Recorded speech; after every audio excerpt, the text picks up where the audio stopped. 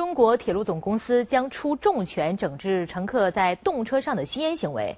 记者了解到，八月十五号起，在动车上吸烟被公安机关依法处罚的旅客，铁路票务部门将暂停为其提供动车组的售票服务。那么，具体的限制举措就是：首先，旅客在动车组吸烟被公安机关行政处罚之日起，暂停对其发售全国各次动车组的车票。